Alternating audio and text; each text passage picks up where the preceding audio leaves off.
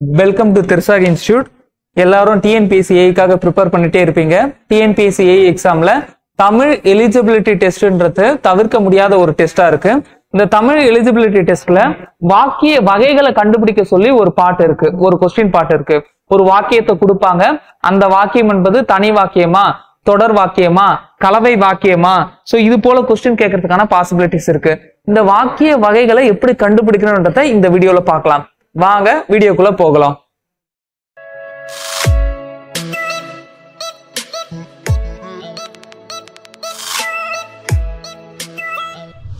வாக்கிய வகைகள். ஒரு வாக்கியத்தை கொடுத்து அதோடைய வகை என்ன வகைன்னு சொல்லி கொஸ்டின் கேட்கறதுக்கு பாசிபிலிட்டிஸ் இருக்கு.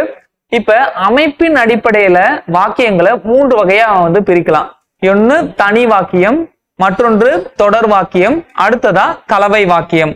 இல்ல தனி வாக்கியம்னா என்னன்றதை நம்ம பார்க்கணும். இந்த தனி வாக்கியத்துல ஒரு எழுவாய் அல்லது ஒன்றுக்கும் மேற்பட்ட எழுவாய். எழுவாய்னா நம்ம ஆல்ரெடி பார்த்தது ஒரு பெயர் சொல் ஓகேங்களா ஒரு சப்ஜெக்ட் அப்ப ஒரு எழுவாய் அல்லது ஒன்றுக்கும் மேற்பட்ட எழுவாய்கள் பயனிலையை கொண்டு முடிந்தால் அதுவே தனி வாக்கியம் அப்படின்னு சொல்லுவாங்க ஓகேங்களா இப்ப இந்த தனி வாக்கியத்துல எழுவாய் இருக்குங்க. எழுவாய் இருக்கும். செய்யப்படும் பொருள் மேபி இருக்கலாம் இல்லாமலும் போகலாம். செய்யப்படும் பொருள் செய்யப்படும் பொருள்ன்றது இருக்கணும்ன்ற அவசியம் இல்லை. இருக்கலாம் இல்லாமலும் போகலாம். கடைசியில ஒரு பயனிலை இருக்கும். பயனிலை இருக்கும். இந்த மூணுத்தோடைய ஃபார்மேஷன் தான் தனி வாக்கியம் சொல்றோம். சே எக்ஸாம்பிளா பாண்டியர் முத்தமிழ் வளர்த்தன.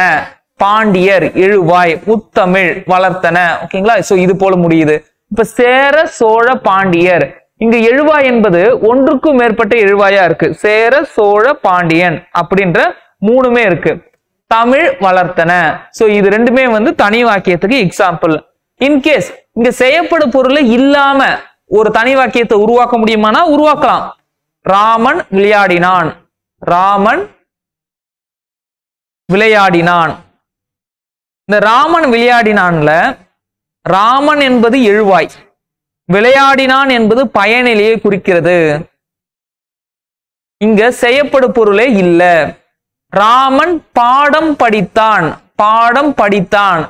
படித்தான் என்பது பயனிலை. ராமன் என்பது எழுவாய். பாடம் என்பது செய்யப்படும் பொருள். அப்ப தனி வாக்கியம்னா என்னன்னு தெரியுதா? எழுவாய். ஒரு எழுவாய் இருக்கலாம் அல்லது ஒன்றுக்கும் மேற்பட்ட எழுவாய் இருக்கலாம். செய்யப்படும் பொருள் இருக்கலாம் இல்லாமலும் போகலாம். கண்டிப்பா பயனிலையை கொண்டு அந்த ஒரு வாக்கியம் முற்று பெற்றிருந்தால் அந்த வாக்கியத்துக்கு பேர் தான் தனி வாக்கியம். அடுத்ததா இருக்கக்கூடிய வாக்கியம் தொடர் வாக்கியம். இந்த தொடர் வாக்கியத்தை பொறுத்தவரையும் ஒன்றுக்கும் மேற்பட்ட பயனிலைகள். ஓகேங்களா? இந்த தொடர் வாக்கியத்தை பொறுத்தவரையும் ஒன்றுக்கும் மேற்பட்ட பயனிலை. அந்த ஒன்றுக்கும் மேற்பட்ட பயனிலை தான் பல பயனிலைன்னு சொல்றாங்க. ஓகேங்களா? அதை முடிக்கிறது வந்து பல பயனிலைகளை வந்து முடிக்கலாம். ஒரு வாக்கியத்தையும் இன்னொரு வாக்கியத்தையும் இணைக்கிறதுக்கு ஆகையால் ஆதனால். இந்த போல இணைப்பு சொல் வந்து வெளிப்படையாவே வரும். ஓகேங்களா? வெளிப்படையாவே வரத்துக்கான பாசிபிலிட்டிஸ் இருக்கு. சரி எக்ஸாம்பிளா ராமன் திருச்சி சென்றான். மலைக்கோட்டை ஏறினான். இங்க எந்தவித இணைப்பு சொல்லுமே இல்ல. ஆனால் சென்றான் ஏறினான். ரெண்டு பயனிலை. ஓகேங்களா? ரெண்டு பயனிலை வருது. அப்ப ஒன்றுக்கும் மேற்பட்ட பயனிலையை கொண்டு முடித்தால் அந்த வாக்கியத்தை தான் தொடர் வாக்கியம் நம்ம சொல்றோம். தொடர் வாக்கியம் சொல்றோம். நாகம் இசையோடு நாகம் இடியோசை கேட்டது அதனால் நடுங்கியது. நாகம் இடியோசை கேட்டது அதனால் நடுங்கியது. இங்க அதனால் என்பது ஒரு இணைப்பு சொல். ஓகேங்களா? அந்த இணைப்பு சொல்லும் வெளிப்படையாவே வந்திருக்கு. சோ இதையே நம்ம என்ன சொல்லலாம்? தொடர் வாக்கியம்னு சொல்லலாம். அடுத்ததா இருக்கக்கூடிய வாக்கியம் கலவை வாக்கியம். கலவை வாக்கியம். இந்த கலவை வாக்கியத்துல ஒரு முதன்மை வாக்கியம் வரும். முதன்மையா வந்து ஒரு வாக்கியம் வரும். முதன்மையா ஒரு சென்டென்ஸ் இருக்கும். அடுத்ததா துணைநிலை வாக்கியம் அல்லது சார்பு வாக்கியம் இருக்கும். இந்த முதன்மை வாக்கியத்தை நல்லா ஸ்ட்ரெஸ் பண்றதுக்காக அழுத்தமா வந்து கூறுவதற்காக ஒரு இணைப்பு சொல் வரும். ஓகேங்களா ஒரு இணைப்பு சொல் வரும். அல்லது ஒரு உருபு வரும். ஒரு வேற்றுமை உருபு வரும். நம்ம போன வீடியோல பார்த்தோம். வேற்றுமை உருபுனா என்னன்னு பார்த்தோம். இல்லைங்களா? சோ ஒரு முதன்மை வாக்கியம் அதுதான் முதன்மை வாக்கியம்ன்றத எப்படி தெரிஞ்சுக்கலாம்னா அதுக்கு பக்கத்துல வேற்றுமை உருபை வந்து நம்மளால பார்க்க முடியும். ஓ ஆல் ஓகேங்களா? இப்ப பாருங்க. மேகம் கருத்ததால் மழை பெருகியது. யார் திறமையாக பாடினார்களோ அவர்கள் வெற்றி பெறுவர். நாங்கள் வாழ்வில் முன்னேற வேண்டும் என்று ஆசிரியர் எங்களுக்கு அறிவுரை வழங்கினார். ஓகேங்களா? இப்ப மேகம் கருத்தது. மழை பெய்- பெருகியது அப்படின்னு தனித்தனியா இருக்குன்னு வச்சுக்கோங்களேன். அது தொடர் வாக்கியம். மேகம் கருத்ததால். அப்ப இது வந்து முதன்மை வாக்கியமா மாறிடுச்சா? அப்ப இது வந்து கலவை வாக்கியம். அப்ப வாக்கியத்தை கொடுத்துட்டு அது எவ்வகை வாக்கியம்னு கேட்கும் பொழுது நமக்கு வந்து ஒரு இடத்துல ஒரு குழப்பம் வரலாம். கலவை வாக்கியமா தொடர் வாக்கியமான்ற ஒரு குழப்பம் வரலாம். அந்த குழப்பத்துக்கு தீர்வு காணணும்னா நீங்க அதிகப்படியான கொஸ்டின்ஸ் வந்து நீங்க வந்து பார்க்கணும். சரி எக்ஸாம்பிளா கபிலன் பாரியை கண்டார். புகழ்ந்தார். அப்ப கண்டார் புகழ்ந்தார். ரெண்டு பயனில இருக்கு. அந்த ஒரு வாக்கியத்தை வந்து தூக்கி பிடிக்கிறதுக்கு ஸ்ட்ரெஸ் பண்ணி சொல்றதுக்கு எந்தவித வேற்றுமை உருவம் இல்ல. அப்ப நம்ம அதை என்ன சொல்லலாம்? ஒரு தொடர் வாக்கியம் சொல்லலாம். உழவன் உழைத்து களைத்து வீடு திரும்பினார். அது ஒரு தொடர் வாக்கியம். ராமன் படித்ததாலேயே தேர்வில் வென்றான். ராமன் படித்ததாலேயே தேர்வில் வென்றான். படித்ததாலேயே அந்த முதன்மை வாக்கியத்தை கொஞ்சம் வசதி பிடிக்கிறது விதமா ஒரு உருவு வந்து அங்க வந்திருக்கு. அத நம்ம கலவை வாக்கியம் சொல்லலாம். தந்தையின் கண் முன்பே மகன் விபத்தில் மரணித்தான். இப்ப அப்பாவுடைய கண் முன்னாடியே மகன் வந்து மரணித்தான். அப்ப அந்த தந்தையின் கண் முன்மே என்பது ஒரு முதன்மை வாக்கியமா இருக்கு. அதுதான் முதன்மை வாக்கியம்னு நமக்கு தெரியணும்னா கண்டிப்பா அங்க ஒரு இணைப்பு சொல் இருக்கும். அந்த இணைப்பு சொல் வேற்றுமை உருவாக இருக்கிறதுக்கு நிறைய வாய்ப்புகள் இருக்கு. சோ இது எல்லாமே உங்களுக்கு புரியும் நம்ம நம்புறோம். இதை தவிர்த்து கருத்து வகை வாக்கியங்கள். கருத்தை அடிப்படையா கொண்டு வாக்கியத்தை நான்கா வந்து பிரிக்கலாம்.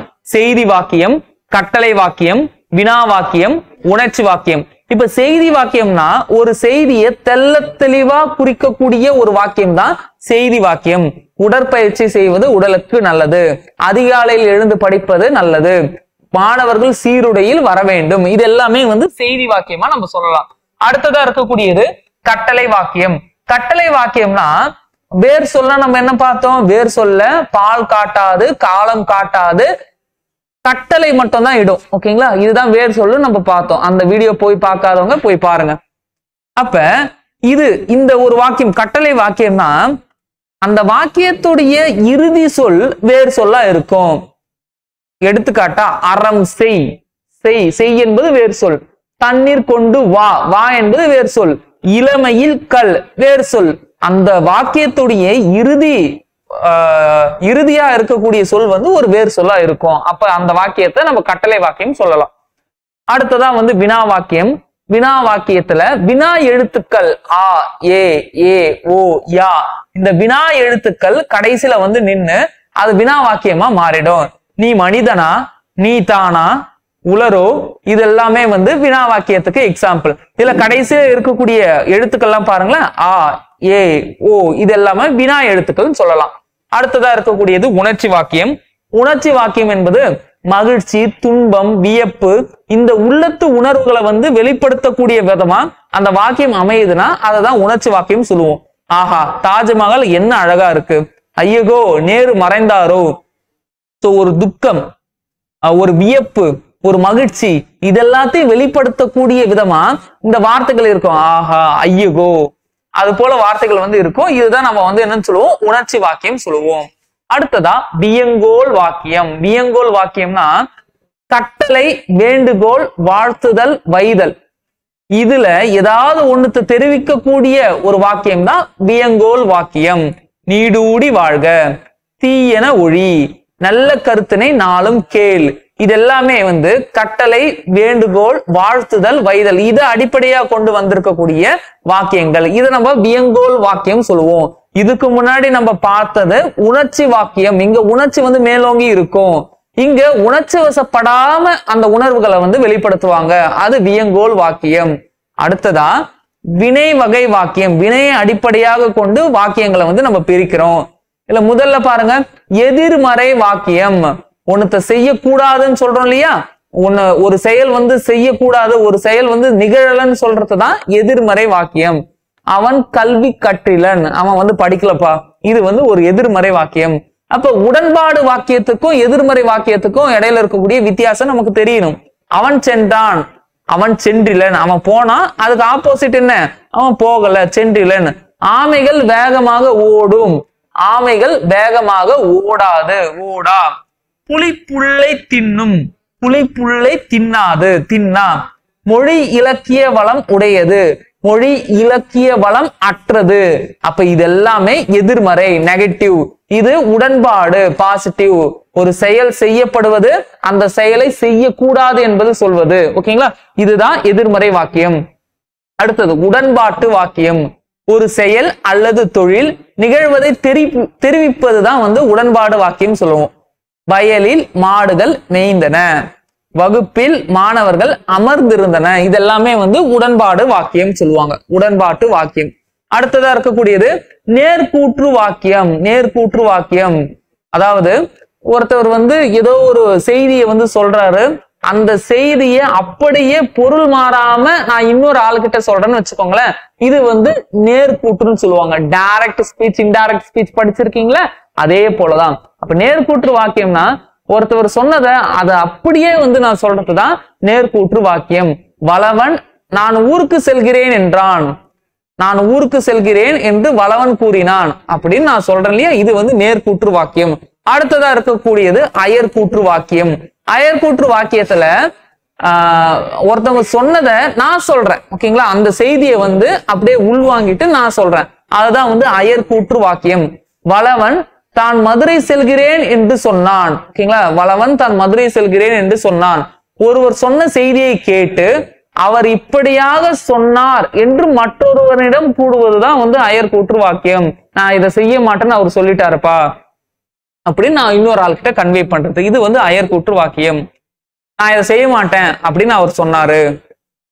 அதாவது டைரக்டா நம்ம சொல்றோமா இன்டைரக்டா சொல்றோமா? அதை பொறுத்து இந்த நேர்கூற்று வாக்கியம் அயர்கூற்று வாக்கியம் ரெண்டுமே வந்து வேறுபடும். இப்ப வாக்கியத்துடைய வகைகள் எல்லாமே பார்த்துட்டோம். எக்ஸாம்ல எப்படி கேட்பாங்கன்னா ஏதாவது ஒரு வாக்கியத்தை கொடுத்து அந்த வாக்கியம் எந்த வகையை சார்ந்ததுன்னு சொல்லிட்டு கொஸ்டின் கேட்கறதுக்கான பாசிபிலிட்டி இருக்கு. இந்த நோட்ஸ் வேணும் அப்படின்னா டெலகிராம் குரூப்ல வந்து நாங்க பதிவிடுவோம். டெலகிராம் குரூப்புக்கான லிங்க் வந்து டிஸ்கிரிப்ஷன்ல இருக்கு. ஜாயின் பண்ணிக்கோங்க. அது மட்டும் இல்லாம டெய்லி பேசஸ்ல கொஸ்டின்ஸ் குவிசஸா வந்து கண்டக்ட் பண்ணிட்டே இருக்கும். தென் டெய்லி ஒரு திருக்குறளும் வந்து போஸ்ட் பண்ணிட்டே இருக்கும். கண்டினியூஸா ப்ரிப்பேர் பண்ணிட்டே இருங்க. All the best